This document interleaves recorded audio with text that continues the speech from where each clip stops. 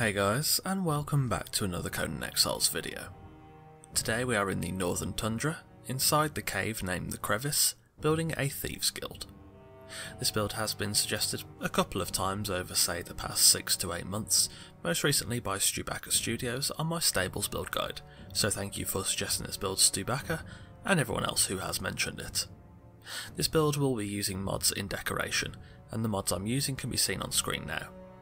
I initially thought you might need less building placement restrictions to build here, but apparently that actually isn't the case as I built in here initially with no mods at all.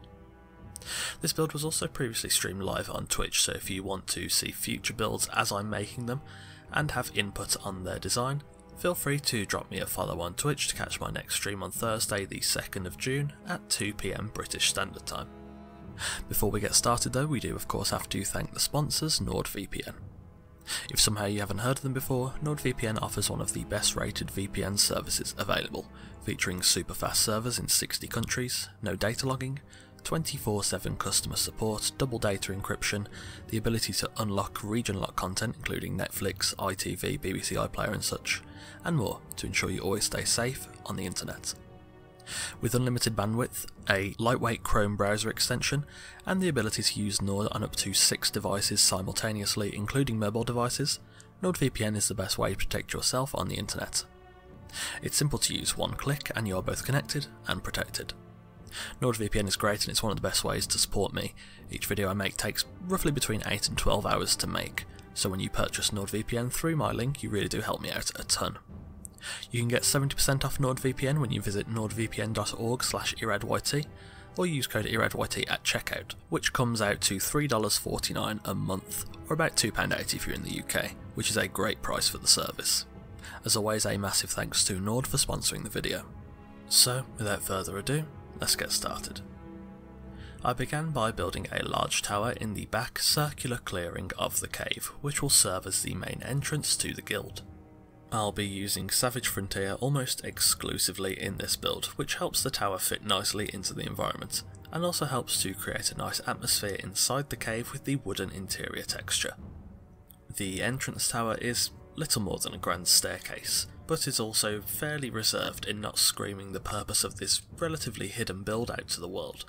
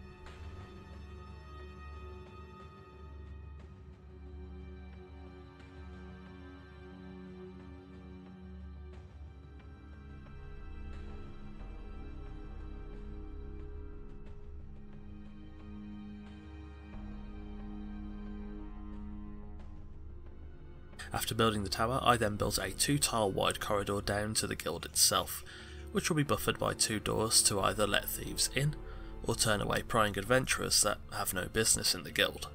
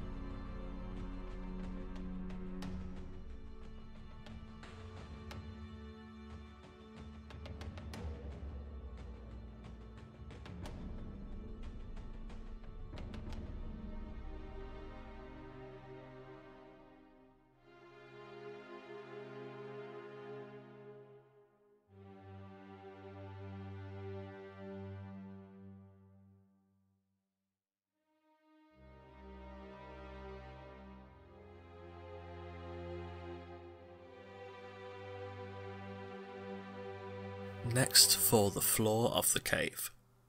This is really simple, I just use foundations to cover the floor and control the levels of the guild, always keeping in mind how I wanted certain sections of the guild to look. This build would probably be quite good for people playing single player mode, co-op, or indeed playing on official servers given that the base plate could be adapted to create a spacious and interesting build, though foundation limits on some non-official servers may stop people from building this guild as I have done. You could probably get around it with ceilings and fence foundations or ceilings and pillars, but if you're on single player, foundations might be the easiest approach or at least it was for me.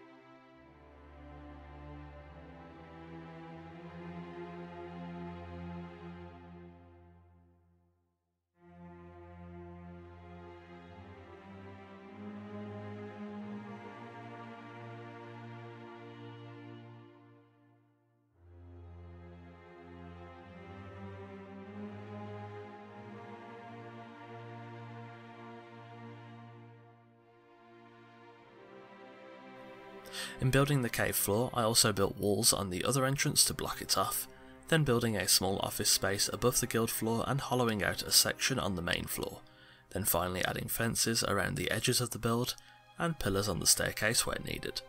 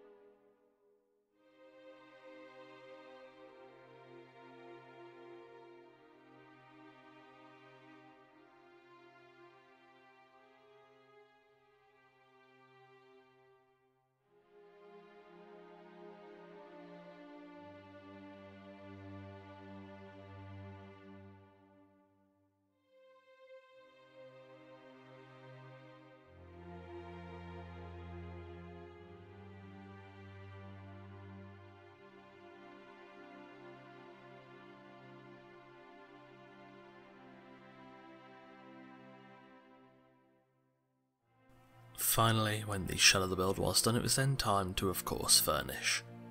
Approaching the build, the tower is imposing, yet very much nondescript, helping the build to stand out whilst also not screaming out to the world what it is. I've lit the build with Aquilonian braziers and wall torches.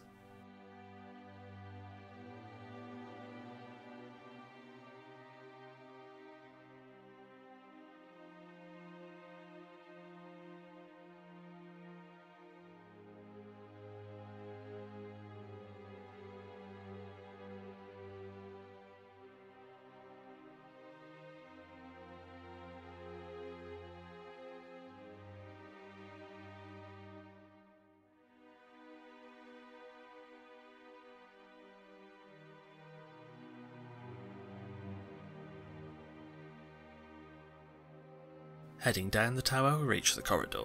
This is again very nondescript which is how it was designed, with the doors at the end stopping strangers from just wandering in.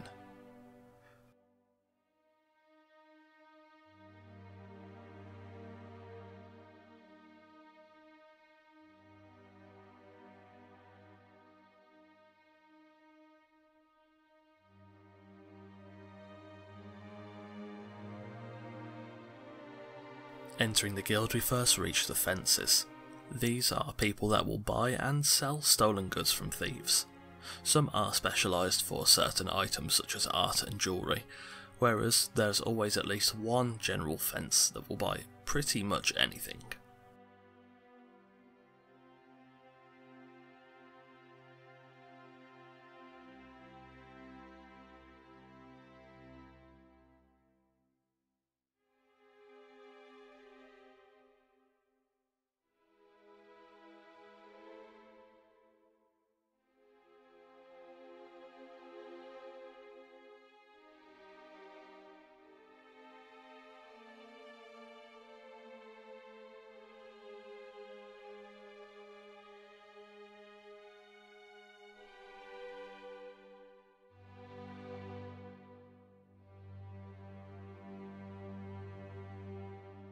Next we reach the tavern. Is it even a good thieves guild if it doesn't already have a tavern? The correct answer is always no. The tavern itself is small, but serves the hard-working thieves with cold glasses of ale.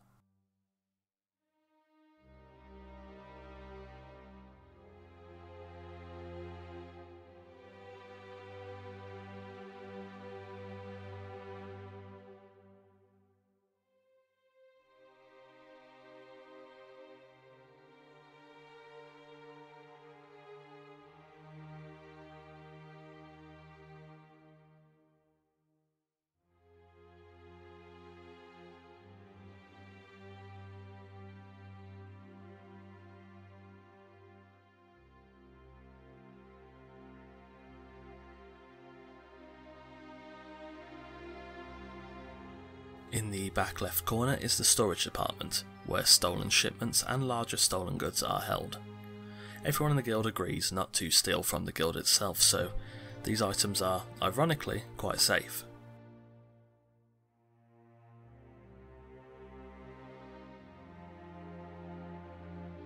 Underneath the tavern is a tiny blacksmith. This is used mainly for repairing damaged blades and lockpicks or forging new daggers for thieves.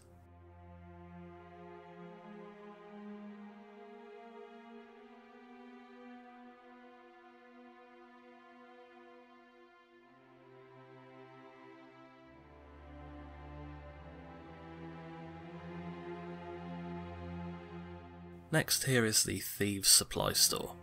Here, a mysterious woman sells rope, lockpicks, daggers, spyglasses, and other instruments to aid thieves in their, let's call them, adventures.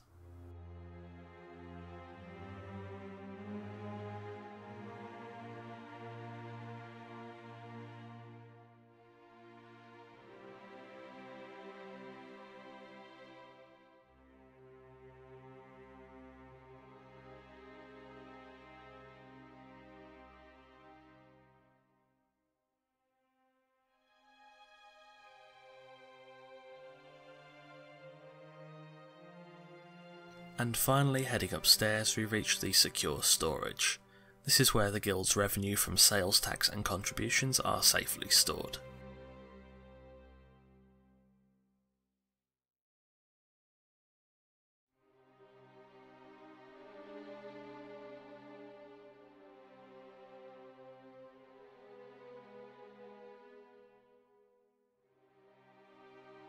And there we have it, a Thieves Guild in the Northern Tundra, inside the cave named the Crevice. Thanks for watching, and thanks to everyone that has suggested this build. It's been a good while since the last cave build, and I've really enjoyed this one. If you've enjoyed this video, leave a like and let me know in the comments below if you have any build suggestions for future videos. As usual, absolutely anything is welcome.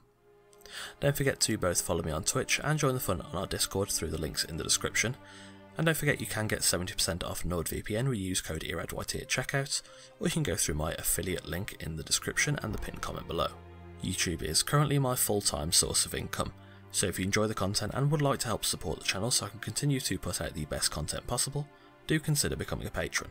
There are multiple tiers of support from $1 to $20, offering many different benefits from a mention in every video to Discord roles, and even sneak peeks of every new video before anyone else.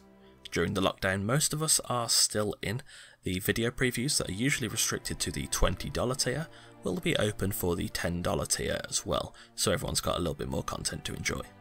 The link to my Patreon is in the description, so if you'd like to support the channel, feel free to consider becoming a patron. On that note, a thanks to our patrons Sammy, Sir Dialot, Randar, Dawnfox, and MK Pantheon. If you're new here, feel free to check out the rest of the content on the channel. There are new Conan Exiles videos coming every Wednesday and Sunday, so if you like what you see, subscribe and ring the notification bell to be the first to see the next video, and to join us on the road to 10,000 subscribers. Again, thanks for watching, and I'll see you soon.